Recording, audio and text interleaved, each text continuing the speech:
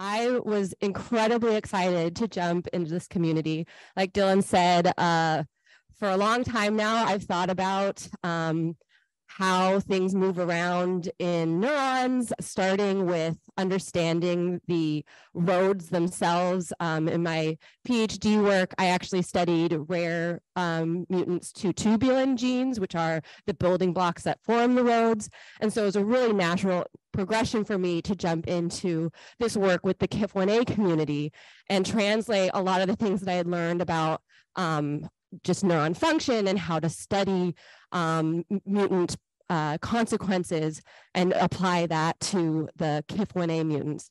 Um, and so one of the things that I was especially excited about um, uh, being a part of the KIF1A community was when we started discussing this iPSC um, new resource from that the Jackson Lab was developing, I was sure to be on every one of those Zoom calls because I had very strong feelings about which mutants we should use to represent our community because I wanted to have the opportunity. Um, you know, as researchers, we are only as good as the tools that are available to us. And um, for a community like this, where there are so many different variants that represent so many wonderful uh, KAND superheroes and the families. And I wanted to be able to create a short list of mutants that would apply more broadly to uh, you know, to classes of how these mutations might alter KIF1A function. And I'll get into that um, a little bit more so you can understand what I'm saying with the help of visual aids. Um, starting out uh, I like to start out broad. Here in this room, we're all familiar with KIF1A. It's a kinesin. Um, but looking even beyond that, it's so important because our bodies are really regulated by this incredible nervous system, which is comprised of billions of nerve cells or neurons in the brain and the spinal cord and all throughout our bodies. And these cells can talk to each other through signals um, that is received by one and transmitted to the other through synapses, which we've heard a lot about um, over uh, these last two days.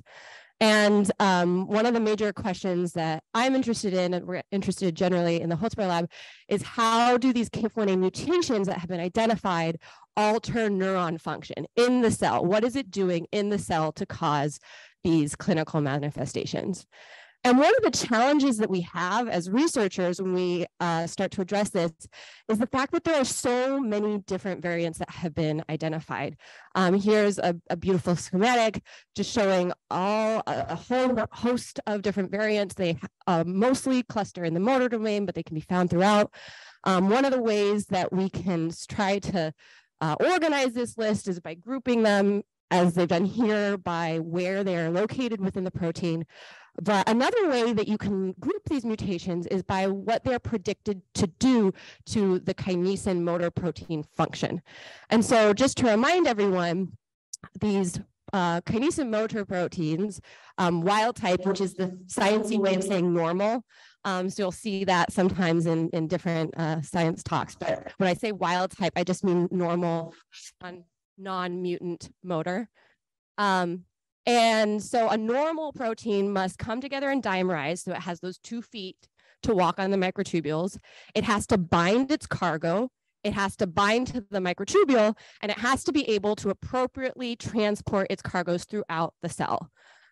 There are certain mutations that can cause loss of function or uh, lessening of its ability to perform its normal job.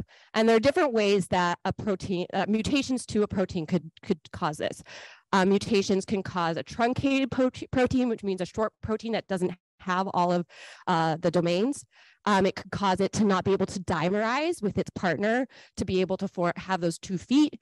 It could cause it to not be able to bind its cargo or the microtubule, or generally just diminish its ability to walk along the microtubule, which a lot of them we know decrease velocity and run length.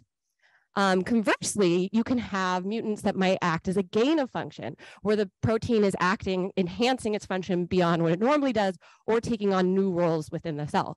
One potential uh, a way that a KIF1A mutant could do that is through these mutations that we call rigor, where they bind to the microtubule and don't let go. And so these could potentially be worse than having no KIF1A at all because it's binding, it could be trapping cargoes there and also causing roadblocks so that other motors can't go where they need to go. Um, really interestingly, and what we just heard uh, about was a hyperactive motor where the motors can actually go too fast and too far. And that's a very different situation than a motor that isn't able to go far enough. And so uh, one of the things that I was really interested in when we generated um, these lists of mutants, was seeing are each of these mutants going to have an end result on neuron function in a similar way, or are they going to affect the neuron differently? Because that's going to be really important for understanding the disease KAND progression for all of our KIF1A superheroes. And also for thinking about typical or thinking about therapies and treatment strategies for different um, uh, patients with different mutations. Um, and so I had introduced this before, but I was really excited to um, get my hands on this wonderful iPSC line that where um, the Jackson lab led by Kat and Justin were able to generate on the genome these KIF1A variants in a iPSC line that's isogenic, which means all the other genes in this line are the same.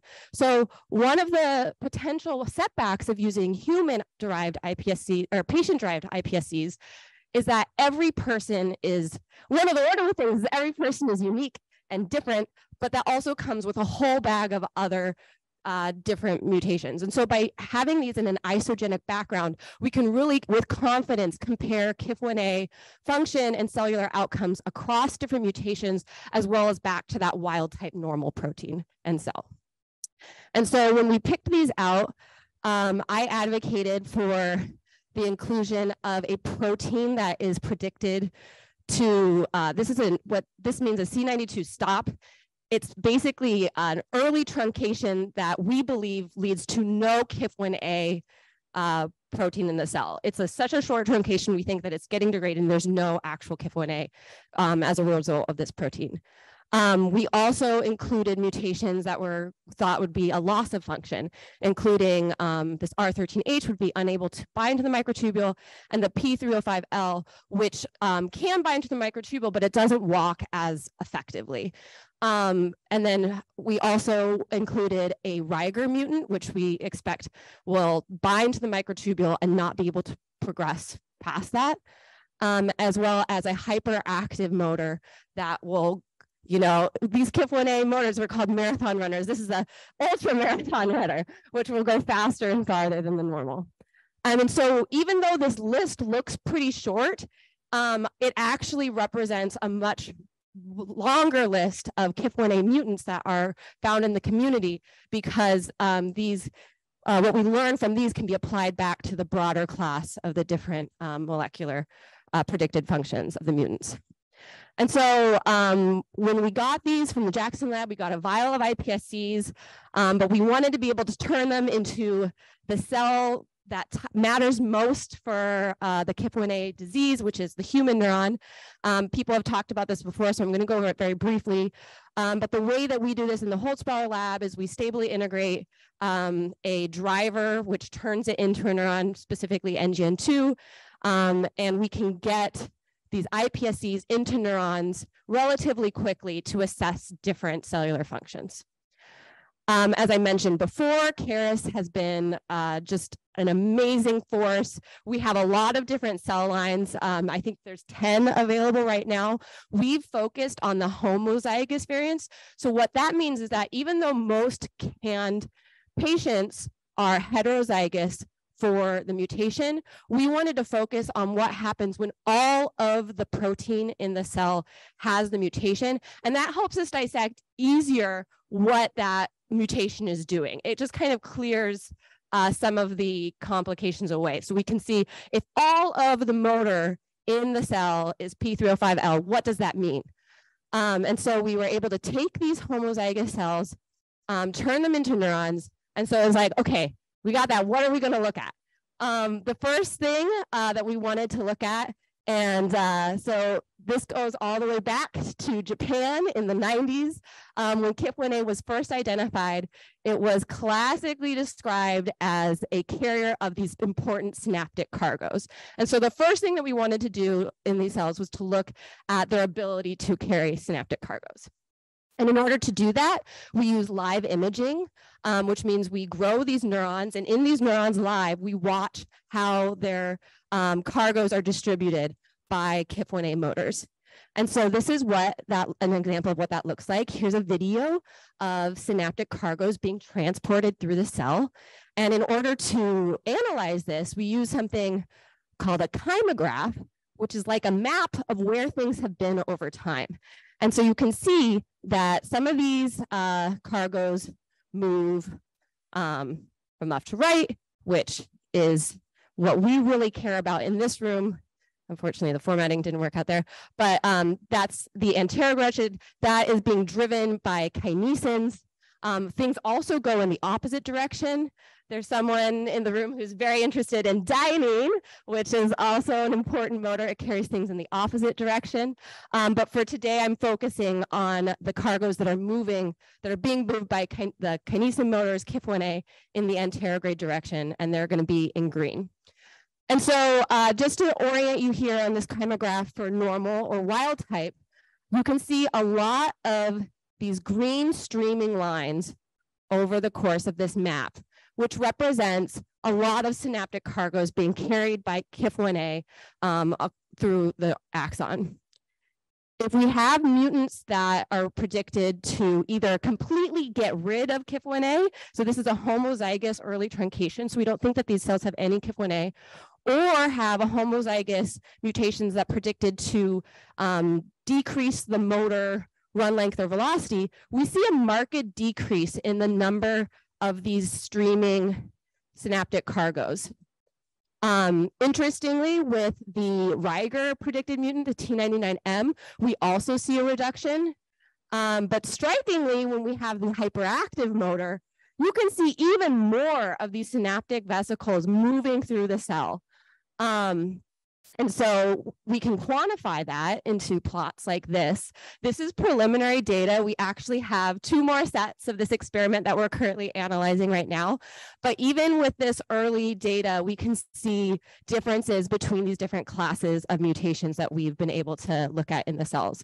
So um, what we're seeing, unsurprisingly, is that when we have these loss of function KIF1A mutants, we're seeing a decrease in the, uh, the cargo flux, which means the number of uh, vesicles that are being transported. Um, there's a trend now towards more of those in the hyperactive mutant. Um, interestingly, uh, and somewhat surprisingly, if we look in these cells that don't have any KIF1A, we still see some of these cargoes being moved and they're moving quite rapidly, which suggests to me that in these cells, there are other potentially kinesin 3 um, motors that are able to compensate a little bit. Obviously not very well. There's not there are not very many but there are some cargoes being able to be trafficked out in this situation.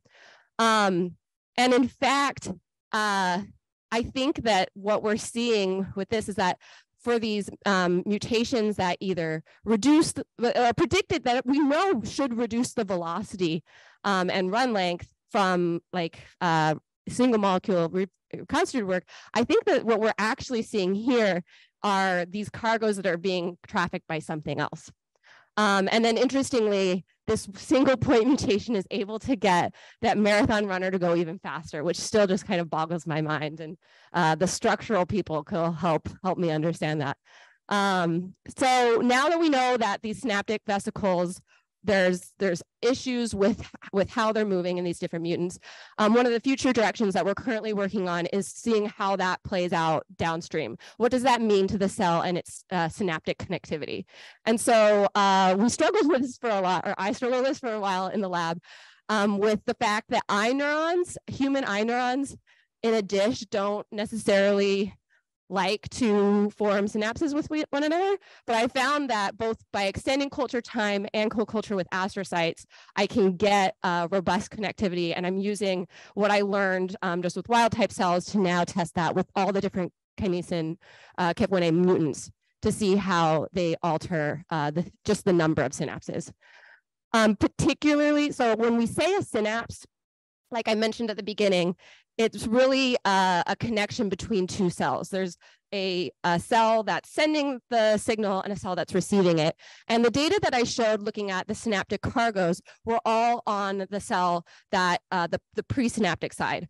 And so um, one of the ways that we're able to dissect presynaptic function and KIF1A's uh, ability to uh, regulate both the formation and function of those is through an assay that lets us to have uh, spatial and temporal control over we, where presynaptic zones form.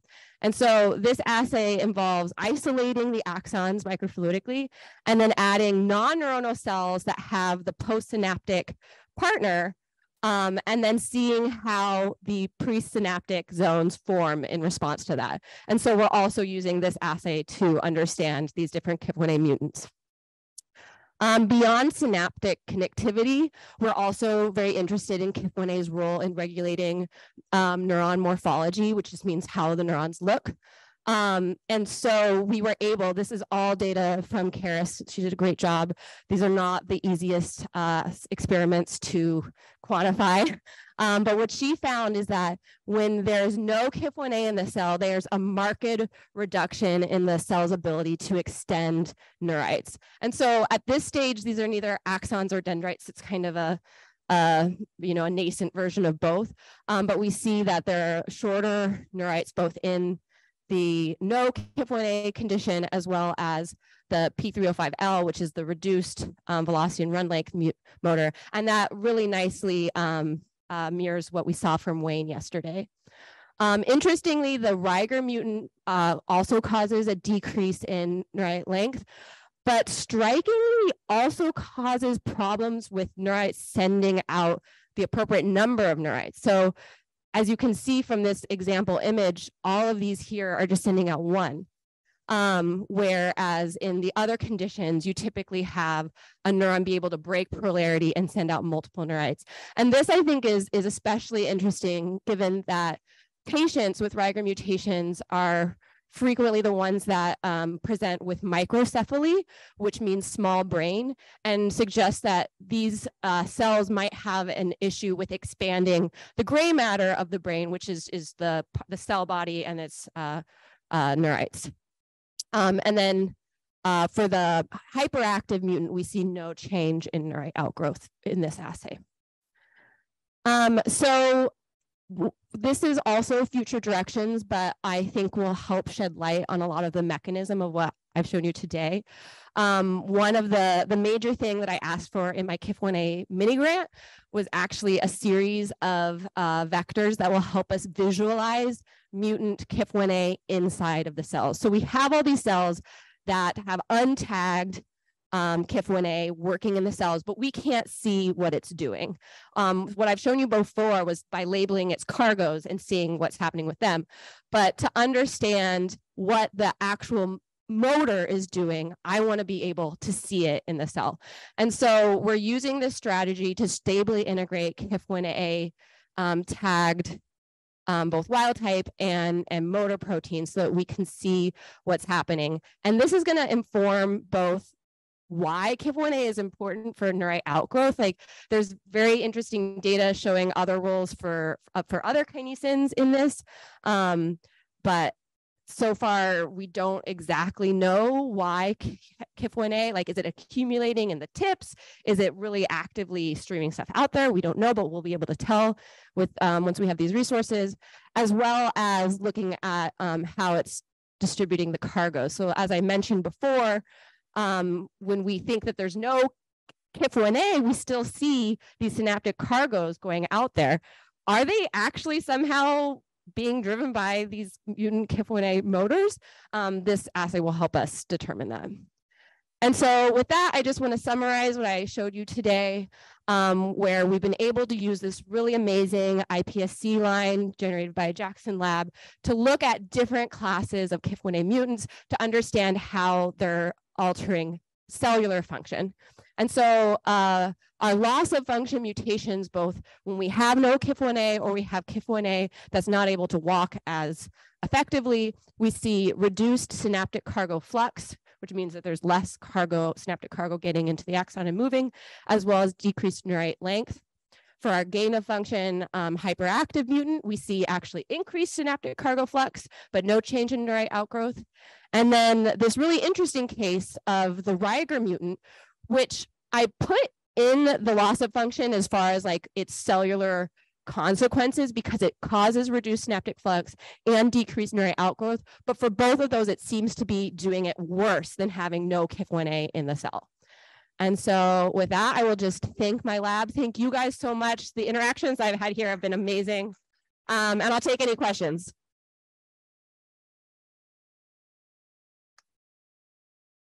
Thank you, Dr. Aiken. I'm going to ask you one question from Zoom and then we'll take one audience question. Uh, the question, which may actually be interesting to Lisa too, is do these mutants also affect retrograde transport, especially in R350G? Is there is there a chance that these kinesin mutants could also impact retrograde? Yes, I actually have that data analyzed. I didn't include it here for time.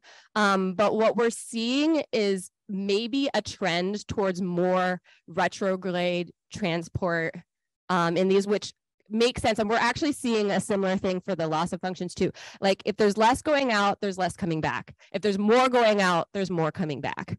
Um, as far as velocity, there's no significant changes, which makes sense because we aren't predicting uh, to affect the way that dynein is walking on the microtubule.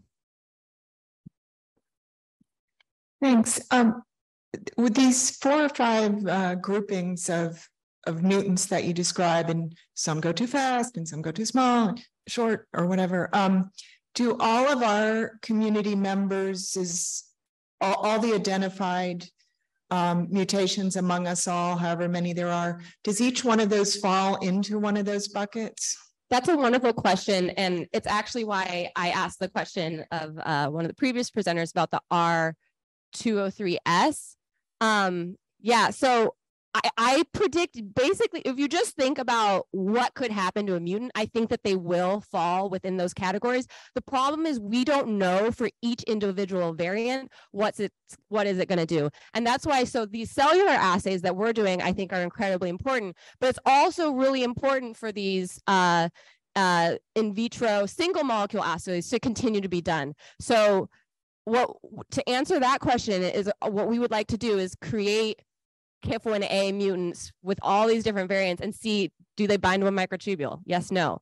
Do they move on the microtubule? Yes, no. How fast do they go? And then with information like that, you could have these broad classes and then categorize all these different mutants within them. Um, and people uh, people are doing that. There's a, just a wonderful paper out on bioRxiv. Um, I think there were like, gosh, 12 mutants maybe even more where they started doing things like that. So that that is being done um, and we'll start to be able to to see where each of these go but we just don't have information for all those variants quite yet